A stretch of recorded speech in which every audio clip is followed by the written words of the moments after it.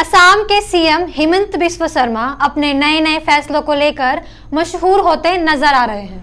कभी वो पॉपुलेशन को लेकर बिल लाते हैं तो कभी हिंदू के लिए लव जिहाद का बिल लाने की बात करते हैं। वहीं अब वो एक और बिल ला चुके हैं, जो कि है कैटल बिल यानी मवेशी बिल। इसके मुताबिक अब राज्य में हिंदू जैन बहुल इलाकों और इस धर्म के मंदिरों के पास गौमास, यानी बीफ की बिक्री नहीं की जा सकेगी।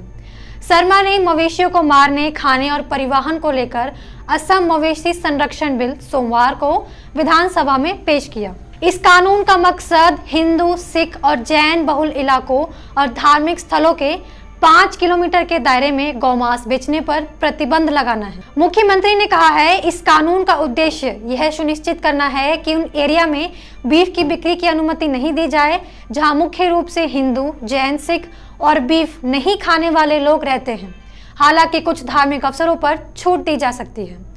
उन्होंने कहा कि जानवरों को मारने के लिए पहले अधिकारियों से मवेशी सर्टिफिकेट लेना पड़ेगा। अधिकारी केवल तभी यह सर्टिफिकेट जारी करेगा जब वह मवेशी गाय ना हो और उसकी उम्र 14 साल से ज़्यादा हो। गाय या बछड़े का वध तभी किया जा सकता है अगर वो स्थायी रूप से अपाहिज है। आपको क्या लगता है यह कैटल भी लाना चाहिए? इस पर आपकी क्या राय है? हमें कमेंट कर कर ज़रूर बताएँ। अभी के लिए इस वीडियो में इतना ही। ज़्यादा अपडेट्स के लिए सब्सक्राइब करें ऑथम न्यूज़ धन्यवाद।